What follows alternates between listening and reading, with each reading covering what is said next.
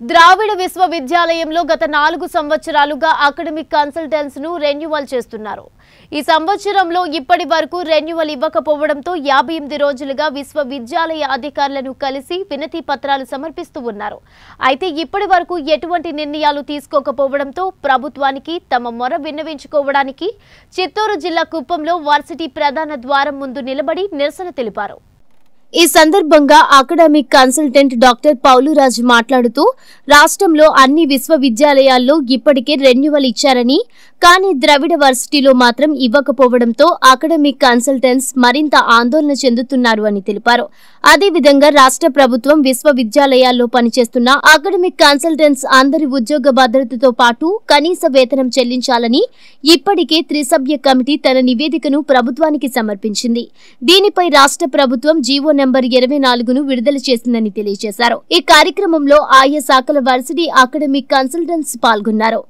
పది సంవత్సరాలు ఎనిమిది సంవత్సరాలు తొమ్మిది సంవత్సరాలు చాలామంది దాదాపు పది సంవత్సరాలుగానే వర్క్ చేస్తున్నారు అకాడమిక్ కన్సల్టెంట్స్గా సో అన్ని ఈ లాస్ట్ ఫోర్ ఇయర్స్ నుంచి రెన్యువల్ ఇస్తున్నారు అధికారులు మా అందరికీ. కానీ ఈ సంవత్సరం మాత్రం రెన్యువల్ ఇవ్వలేదు.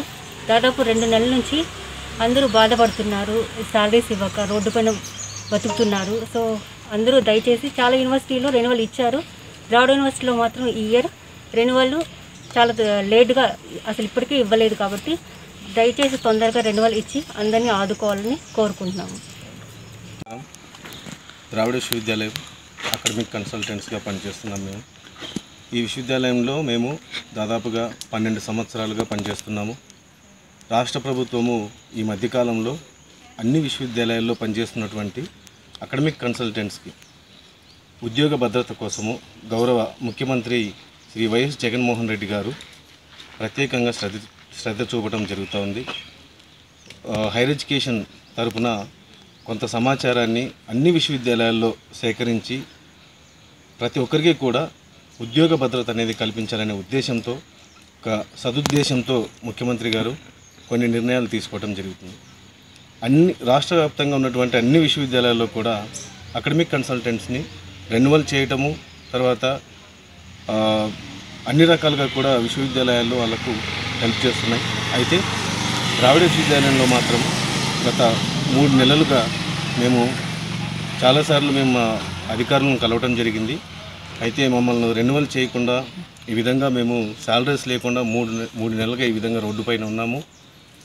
రాష్ట్ర ప్రభుత్వం ఏమో ప్రతి ఒక్కరూ కూడా సంక్షేమంగా క్షేమంగా ఉండాలనే ఉద్దేశంతో గౌరవ ముఖ్యమంత్రి గారు అన్ని రకాలుగా రకరకాలైనటువంటి పథకాలను అమలు చేస్తున్నారు.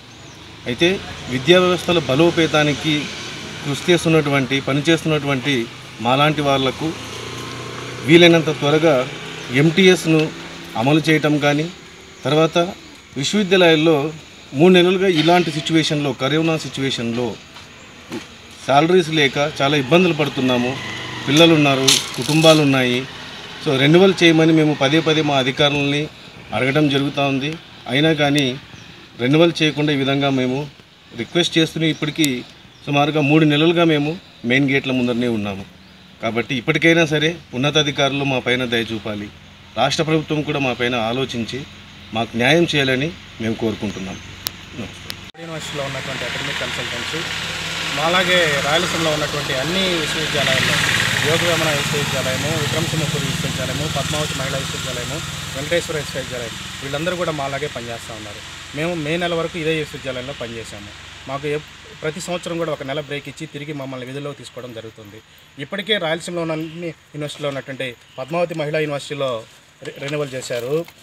ఇదే యోగవేమన విశ్వవిద్యాలయంలో రెన్యువల్ చేశారు. విక్రమ్ సింహపురి యూనివర్సిటీలో రెన్యువల్ చేశారు. మేము చెప్పేది ఏమంటే మేము ప్రభుత్వాన్ని కోరుకునేది విక్రమ్ సింహపురిలో సతీష్ చంద్ర గారు హేమచంద్రారెడ్డి గారు కలిసి నిర్ణయం తీసుకొని అక్కడ అకాడమిక్ కన్సల్టెన్సీని రెన్యువల్ చేశారు. అదే హేమచంద్ర యోగ వేమనలో రెన్యువల్ చేశారు.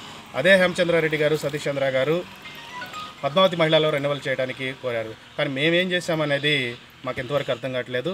జూలై మొదటి వారంలో నుంచి ఇప్పటివరకు దాదాపు ఇవాళ మేము యాభై ఎనిమిదో రోజు యూనివర్సిటీకి రావటం మా రెన్యువల్ గురించి. ఈ రెన్యువల్ ఒక అయితే ప్రభుత్వం ఇప్పటికే యూనివర్సిటీలో పనిచేస్తున్నటువంటి contract lecturers academic consultants teaching అసిస్టెంట్లు ఎవరైతే వివిధ డిజిగ్నేషన్స్లో ఉన్నారో వాళ్ళందరికీ కూడా భద్రత కల్పిస్తామని చెప్పి ముఖ్యమంత్రి గారు పాదయాత్రలో చెప్పారు. ఆ ముఖ్యమంత్రి గారు డైరీలో కూడా నూట ఇరవై తొమ్మిదో రోజు నూట ఇరవై తొమ్మిదో రోజు పాదయాత్ర డైరీలో మాకు అభయం ఇచ్చారు. అభయం అని చెప్పి సాక్షి పేపర్లో చాలా పెద్ద ఎత్తున వచ్చింది. మేము ఆయన పాదయాత్రలో ఇచ్చినటువంటి హామీ మీద నమ్మకంతోనే ఆయన పాదయాత్రలో ఇచ్చిన మాట మీద నమ్మకంతోనే ఈరోజు మేము ఆ- ఆశతోనే మేము ఈరోజు బతుకుతా ఉన్నాం. మా అందరినీ ఇప్పటికైనా సరే ముఖ్యమంత్రి గారు కరుణించి మాకు రెన్యువల్తో పాటు మా అందరికీ కూడా మా యూనివర్సిటీలో పనిచేస్తున్నటువంటి నలభై నాలుగు మంది అకాడమిక్ కన్సల్టెంట్స్కి వెంటనే రెన్యువల్ ఇవ్వాలని చెప్పి మేము ముఖ్యమంత్రి గారికి వినవించుకుంటున్నాం. Thank you